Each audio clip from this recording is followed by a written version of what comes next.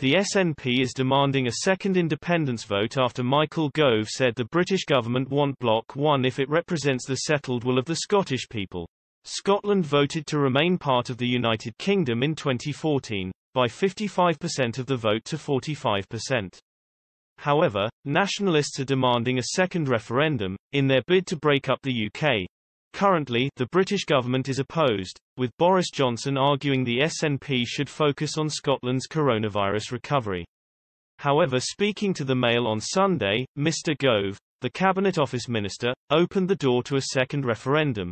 He said, the principle that the people of Scotland, in the right circumstances, can ask that question again is there. I just don't think that it is right, and the public doesn't think it is right, to ask that question at the moment. If it is the case that there is clearly a settled will in favor of a referendum, then one will occur. Mr. Gove didn't specify how the settled will of the Scottish people would be defined.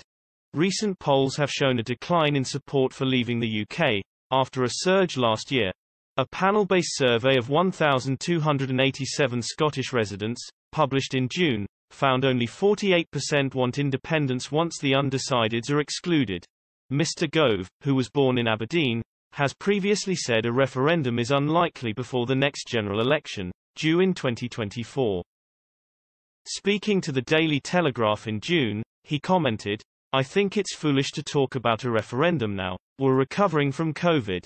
It seems to me to be at best reckless, at worst folly, to try to move the conversation onto constitutional division when people expect us to be working together in order to deal with these challenges. The SNP fell one seat short of a majority at May's Scottish Parliament elections. However, there is still a pro-separation majority at Holyrood, thanks to Green Party support. Ian Blackford MP, the SNP's Westminster chief, argued this shows another referendum is the settled will of the Scottish public. He said, it should not be news that the Tories are finally waking up to the fact that the people of Scotland have expressed their democratic wishes in an election that they want their future to be put into their hands. The fundamental point Michael Gove missed is that the people of Scotland have spoken and expressed their settled will that they want to hold a referendum when they elected a majority of independents supporting MSPs to the Scottish Parliament just over two months ago.